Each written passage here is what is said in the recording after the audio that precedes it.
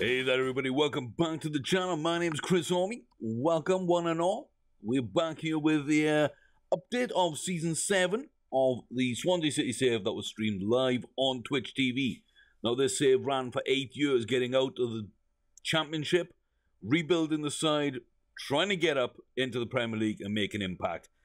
Uh, where we left off, we had done some really good things uh, in season 6. We finally won the league we managed to uh, managed to win the Champions League. Uh, in fact, I think the only thing we didn't win might have been the FA Cup in season six. So we were coming towards the end of the save. Then we'd hit our main objective, which is turn us into a European powerhouse. But in a way before I thought we would, and we'd started making some signings, which are pushing us in that right direction. So this season was about big sort of condol- consolidations, um, trying to defend our European crown and see how much more life this save really had. So we still hadn't won um, the Community Shield, Super Cup, World Club Cup. I think those are the big trophies left to win. In a poll, I was asked, you know, I asked a bunch of questions. I was asked to go and win every trophy possible with this club. I was asked to try and get a son and try and get a stadium named after me as well in this save. But I knew that they were kind of secondary objectives. But that was our main sort of thing left to achieve. So, we'll start with the transfers, season seven. Um, some young players, nobody really big until we come down to Alexander Ehrenreich. So, we'd signed him as a young player, waited till he was 18 to join us. Like I say, this is uh, two seasons in from the point yeah, this is about two seasons in from when he joined us. Um, about 26 months all in all. An absolutely fantastic central defender, a big sort of player at the back who can do some damage for us. Love seeing him uh, in the team, love seeing what he can do. It's another good German youngster. We've had quite a few of those. But a lot of money for a young player, but I knew he'd develop into a good player. We've seen exactly sort of how he looked as a teenager. We knew we were pretty safe with the kind of player we're getting. Six foot four, big, tall, strong, good in the air, good on the ground, solid mentals. He's really developed into a world class centre back. So I'm really enjoying having him in the club. And that was big. Uh, apart from that, again, more reserve players until you get down to the big signing that we were waiting on, which was 92 millions for Donnarumma. Best young goalkeeper in the game, best keeper in the game at this point. Um, yeah, well worth the money. Would have paid more. Almost did pay more. Um, and at this stage, he is just unbelievable for us. Um, but yeah, this was the first time that we really put money out there for a player. And it was big money.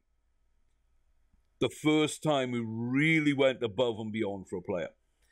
So yeah. Yeah. Like, I, I knew it would pay off. I thought it might be a bit risky at times, but I knew it would probably pay off. You're getting a world class player. Worst case scenario, you sell him for a little bit less than you bought him. It's not a huge loss if that happens. But overall, I really did feel comfortable with Donnarumma. From there, we went and got some more youngsters. Again, Zaferovic, decent backup defender. Um, Love having him about as well. Really good young defender. Gotsev in midfield from our feeder club, rotation player. Pretty decent. Ended up selling him on for a big profit, as you can see. Um, didn't have that top end quality we were really looking for, but a good player. And then transfer listed. I didn't want to buy a player, but transfer listed Phil Foden. You gotta be kidding me.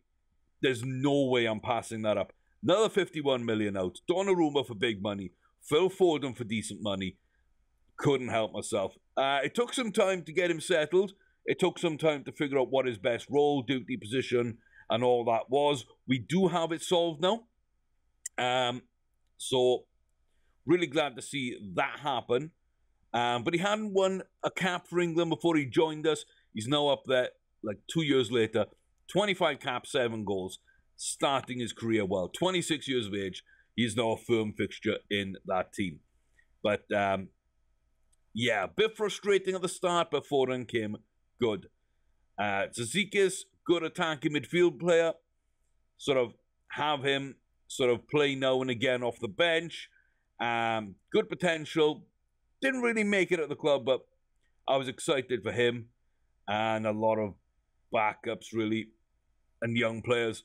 Uh, Chad Joseph, a young English midfielder, spent some money on him. Spent some money on him. Okay, it was a decent amount of money, but again, he was English, young, high potential, had good stats, and I thought I could grow him into a first team player. So I envisioned having more English players, more British players in the team. Now we've had that in parts, but it was time to introduce more. Foden was a good part of that. Joseph coming in is another part, and the next guy as well, uh, Derek Herbert is another part. So 35 million for Joseph, and then 26 million for Herbert, who turned out to be the absolute steal of the bunch. Mayhem personified. Goals, who's my third choice striker in this season. In the next season, you'll see in video 8 uh, for the season 8 update, you'll see him there, and um, he has a much bigger impact. He's in the first team, in fact, for that part. So, little bit of change up front. Kula Muratovic days slowly coming to an end at the club, sort of during this season, end of this season. We kind of made our mind up for that. So I roasted out, Selke out, Torres out, Knutson out, all backups. Knutson for decent money at least. Um, the rest of them weren't really going to make it. Knutson wasn't going to make it either. Um, but we at least got decent money. Reece James, good money for him. He's out to Villa. Uh, Jovic, double our money. He did bits for us, but not enough to stay. Um, and yeah, I couldn't decide on midfielders. So we had three midfielders to choose from. Victor, I really liked more of an attacking player, good finishing, good physicals. Couldn't really get him working the way I wanted to. We ended up selling him really cheaply, but we brought him really cheaply as well, so that wasn't too bad. Magina, again, another cheap pickup. I think 3 million, so we made a decent profit on him. Uh, him and Victor, very similar. Different kinds of players, were very similar in terms of ability levels and where they fit into the team squad. Didn't know what I was doing really. So I was kind of confused. And then Diego Suarez as well. A free transfer probably could have kept him, probably the best of the three. But I didn't want another foreign player in there if I didn't have to. So I made my mind up. I was going to sell them and we'd look around. Now, the good thing is, I got Foden in, so I thought, okay, I can sell these and look for a young backup. And that's when I unearthed Chad Joseph. Couldn't land him in the transfer window, got him in January instead. But overall, I think it's an upgrade. And honestly, like for what? 30 million there? We almost paid for Joseph getting rid of those three guys. And I think we only paid like 4 million for those guys. So 10 million plus three players that would be good, not great, get us a young English player that could be great and is currently good. So we lost a bit of depth, but we gained something we wanted out of it. So it's not a bad trade off when I view it in that kind of lens. Um, couple of youngsters not going to make it. Bunch of people out on loan as well. Dumped a bunch of players. And at this stage, with Joseph sort of in, we decide, okay, we know, you know, we know that Joseph's coming in. Fowler's not going to be about much longer. The bids were coming in. I had to get rid of him. So he heads out Bayern Munich for big money. Um, really big money. He was kind of him and Suarez flattered when you looked at their stats and attributes, but the way they played, some of the balls they didn't chase, some of the passing options they made, some of the runs they made, I just didn't like their style at all. Um, yeah, so big profit on that made some money. I still think we improved. And Mattia Perin as well. Donnarumma in, we didn't really need him. We had some good youngsters we developed over the season, so he could leave. Again, some more defenders out. Some backup defenders and goal and strikers, sorry, here. People like Yakin says, decent but not great. Gaiola came up big over the season in parts, but we ended up shipping him out to Villa. Uh, and then a bunch of youngsters that just didn't make it. So a lot of young players, Perin and Fowler from the first team, and then some rotation options in Suarez, Magina, Victor, Jovic, and James Knutson. Rosa, our backup keeper. So, not a big price for him, but again, I think I was more interested in just getting him out and getting one of the young goalkeepers with more potential in instead. So, yeah, Torres, another one of those rotation midfielders that never quite made it. Selke was depth, but really a lot of youngsters out, I think, is the main thing. So, we lost a bit of money, mainly because we went big in English at the end. We went opportunistic on the transfer list to get Foden, and we broke the bank really and set new records for Donnarumma. So, yeah, I'm pleased. I'm pleased. The fact that those deals there cost us what? Like 61, 51, 112, 114. So 204 million out of 236, maybe. Madness. Madness. The amount of players we got in for cheap. But we broke the bank with those four. We already had Ehrenreich in as a first team player off the bench. Zaferovic as a bit of a first team player. Cizikas is a bit of a rotation young player as well. So really, benching up, we had Ehrenreich and Zaferovic at the back. We had Don Donnarumma in goals. We had Joseph, Foden, and Cizikas in midfield, and we had Herbert up top. A lot of good quality players coming into the first team squad. And again, you know, yes, Donnarumma is world class, so that bypasses the need for British. Ehrenreich's going to be world class. Zaferovic, Cizikas, more backups, more rotation. Fills a need for now, but maybe they don't make it long term. And then Foden, Joseph, Herbert, the three Englishmen to come into the team.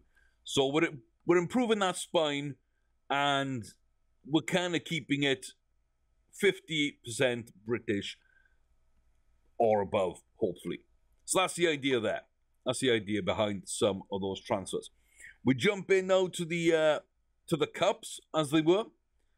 You can see we lost to Arsenal in the Community Shield. We kind of tried for that, but too much pace, too much power, couldn't get uh, couldn't get the win there. So that's cup cup competition one lost, something that we'd have to get at a later date to uh, complete winning every trophy within this save.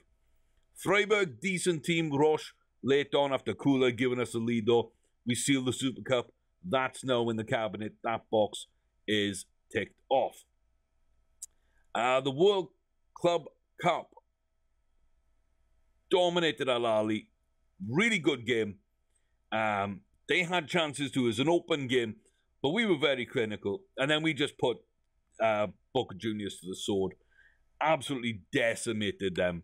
And again, another tick in the competition's column ticked off. Gotsev with an early goal gets us away from Burnley. Gayola's early goal gets us a win over West Ham. Um, a late goal after Gola opens up. Fabio Silva gets one back over Chelsea. Sarah with the injury time winner. In the semi finals, Kula decimates. Then Herbert decimates and puts Middlesbrough out. And in the final, good win over Liverpool, but a very, very tight game. Um, again, finals, we don't play our best football in finals. Teams may be more defensive or a little bit more combative, compact, or whatever it might be. But we really don't do well in those finals. And some away games as well, we fall into the same traps. So there was that. FA Cup, big win. to Cizikas early on there. The B team coming up big. Phil Foden took some time to settle, but we got him playing well. And these were some of the games where he started coming into it sort of midpoint of the year and later. Um, but yeah, good win over Birmingham there. A decent win over Bournemouth. Left it late. They got a goal back. Lewis Fry had to come up big towards the end of the game. We threw bodies forward.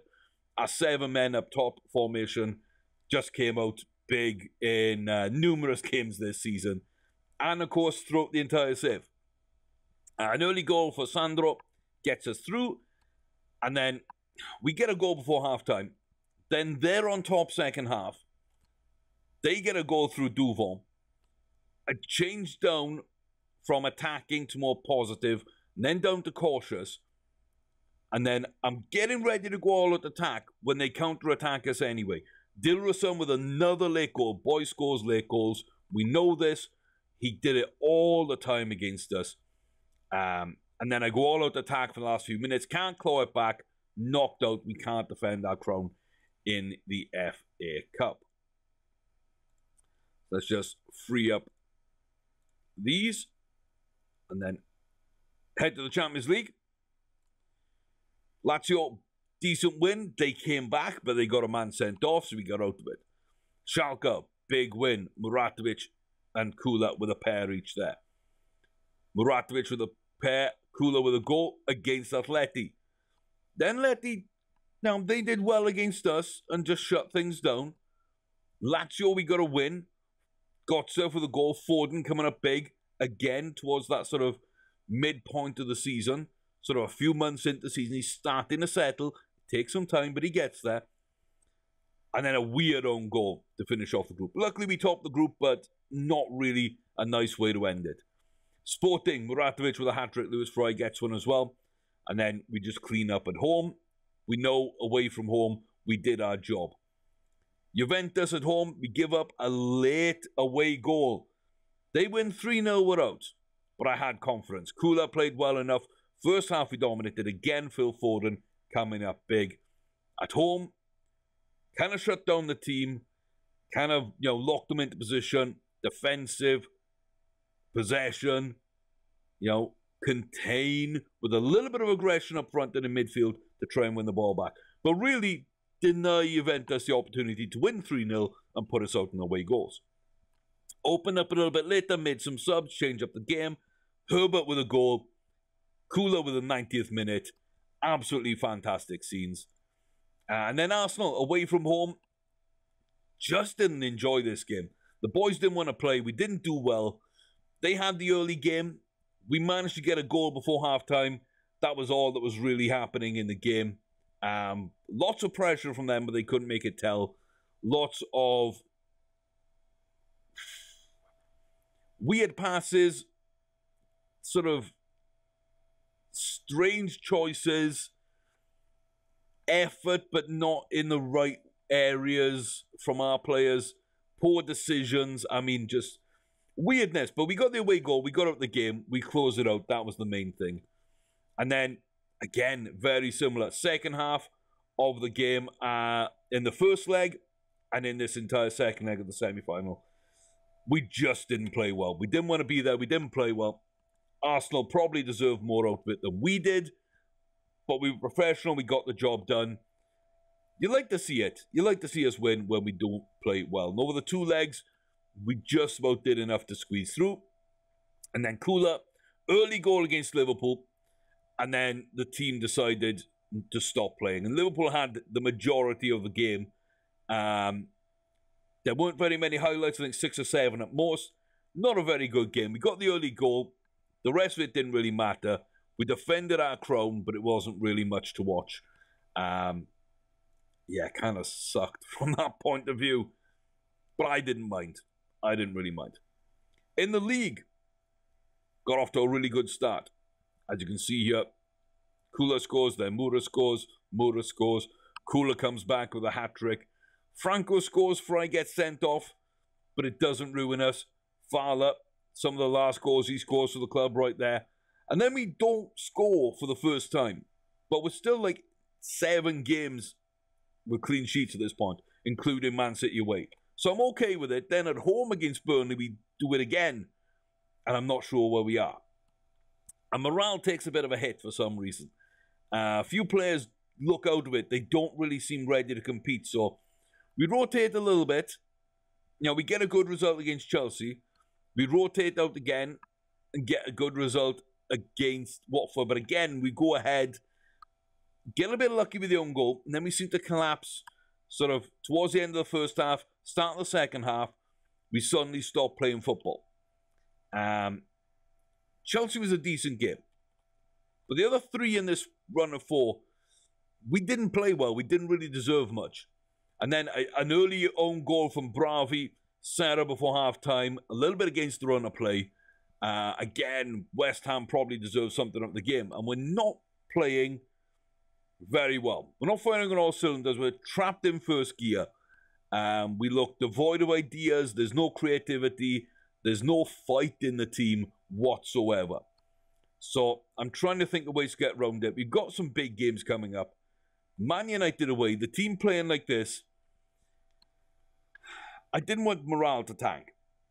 So I dropped my first team to protect their morale, put some kids in. We got wrecked early. We give away a penalty, late goal. We weren't at it, but I gave up the points. I knew that we could get those back. But for morale, I didn't want to go to Old Trafford, playing the way we were, knowing we might lose, and then have the first team sort of be unhappy. Um, I didn't think that was a good idea. Like I say, coming in towards this point of the season, you know, we're battling in Europe, we're battling in the Cups, we're at the top end of the league. There's so many games, so many chances. I thought, play the reserves, play the kids, send them to Old Trafford. We played quite well. We got beaten badly, but we played quite well. And then we did the same basically at home against Brighton. Bit of a reserve team. Lewis Fry with the early goal. Not too much, but we're starting to play a little bit better play a first, you know, a few first teamers away to Villa. Foden with an early goal. He starts coming in, getting some goals. Kula with a goal. Then we controlled it. Then morale starting to look a little bit better. Then Muratovic, poor first half, shouted at them. Within like 15 seconds, Muratovic has scored. But again, Stoke are difficult to break down. Morale was not great at that point either. We're slowly starting to come back down. And then the first team pretty much go to Arsenal, get absolutely blitzed.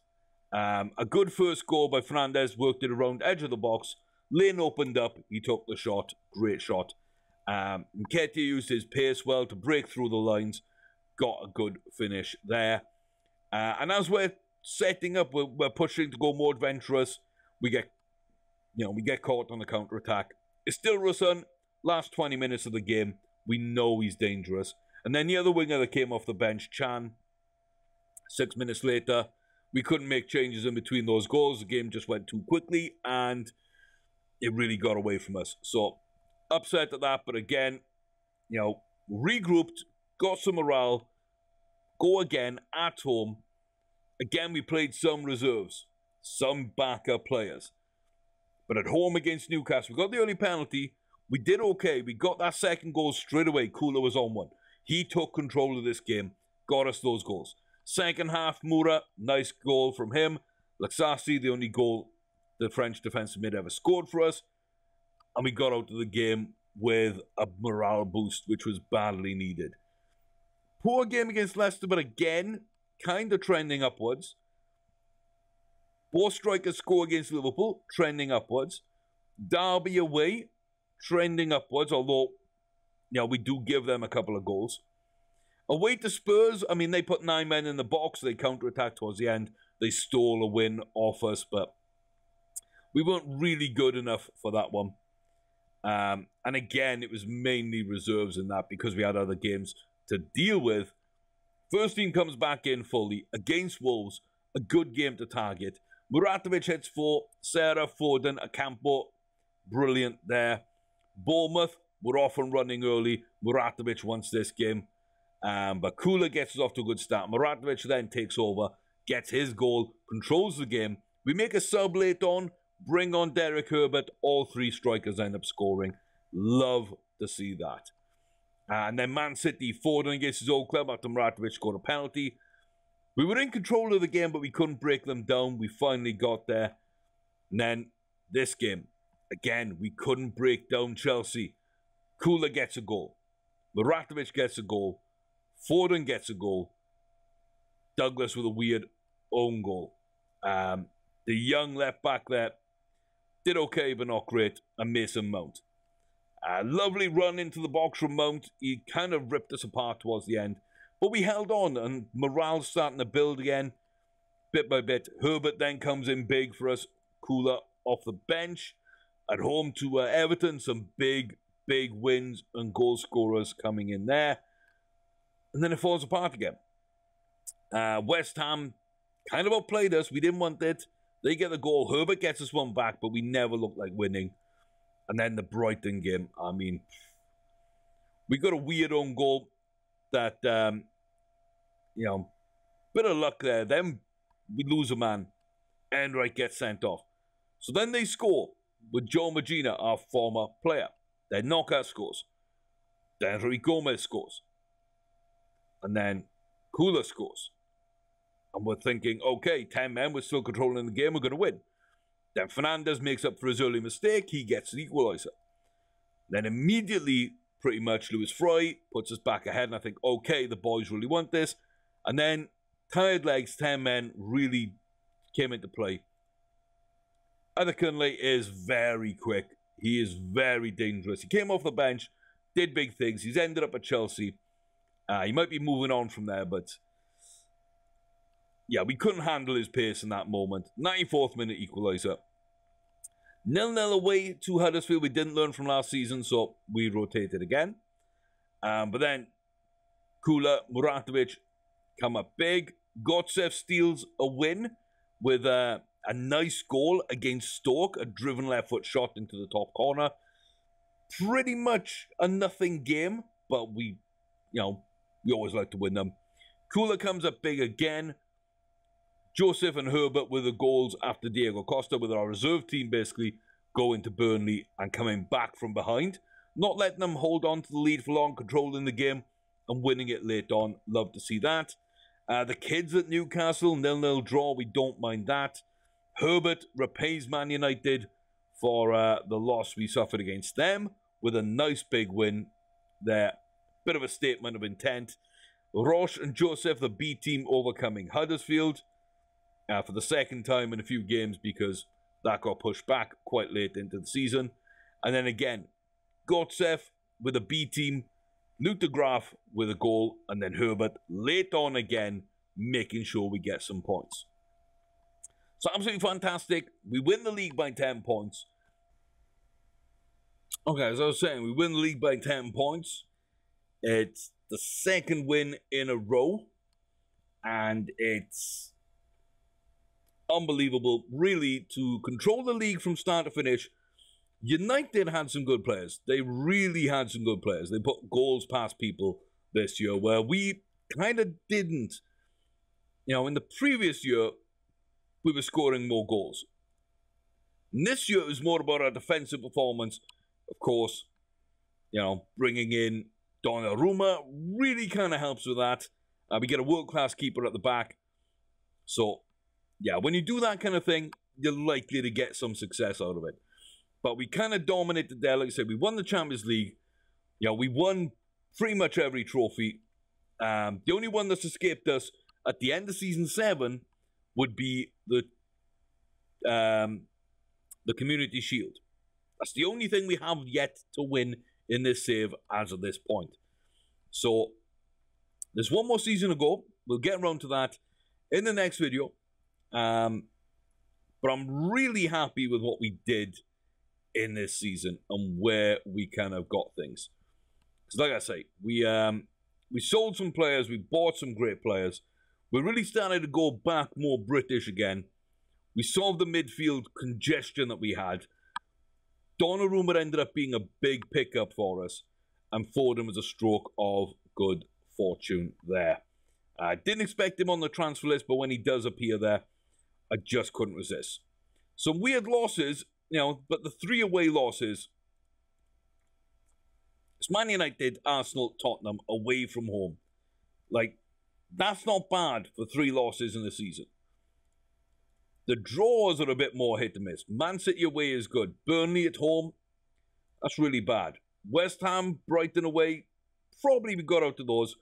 Huddersfield away, not really great. Newcastle away, not really great. I mean, but it is what it is. It's a decent season with a good team that needs just one or two ingredients to put it right over the top. We'll see those in season 8. I'll see you then. Until then, take care of yourselves. I'll see you soon, guys.